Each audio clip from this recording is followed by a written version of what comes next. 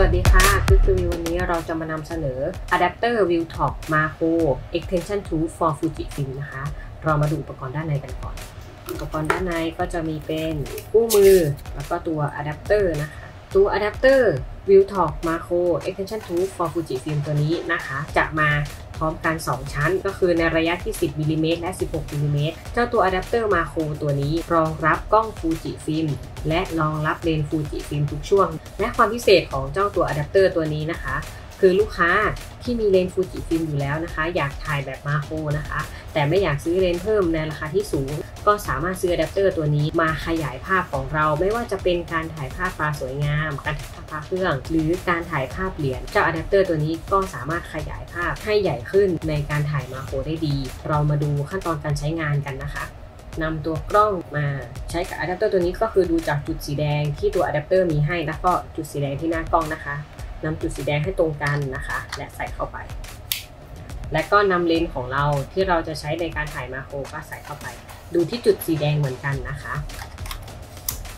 เพียงเท่านี้เราก็จะได้กล้องที่พร้อมถ่ายมาโครแล้วนะคะ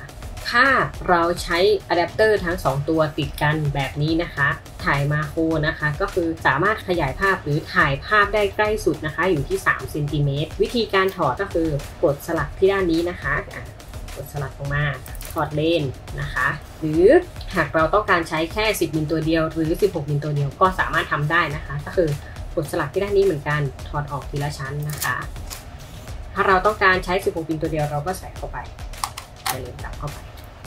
อันนี้คือระยะที่ 16 มิลตัวเดียว ถ้าเราใช้ระยะที่ 16 มิลตัวเดียว เราสามารถโฟกัสใกล้สุดนะคะอยู่ที่ 4.5 เซนติเมตร แต่ถ้าเราใช้ 10 มิลลิเมตรตัวเดียว ระยะโฟกัสใกล้สุดก็จะอยู่ที่ 6เซนติเมตรถ้าเราใช้ 2 ตัวประกบกันพร้อมกันจะอยู่ที่3เซนติเมตรเจ้าอะแดปเตอร์ตัวนี้ยังรองรับระบบออโต้โฟกัสทั้งตัวกล้องและตัวเลนส์และยังวัดแสงได้อีกด้วย โดยทำให้ภาพที่ลูกค้าได้มาไม่เสียคุณภาพของภาพเลย ตัวอะแดปเตอร์ทั้ง 2 ตัวนี้นะคะ จะมีน้ำหนักของตัว 10มิลิเมตรเนี่ยจะอยู่แค่ 53 กรัม และตัว 16มิลลิเมตรจะอยู่ที่ 59 กรัม ถือว่าน้ำหนักเบามากๆ และสำหรับลูกค้าท่านใดนะคะ ที่สนใจสามารถติดต่อสอบถามสั่งซื้อนะคะ ที่ลิงก์ใต้คลิปได้เลยนะคะ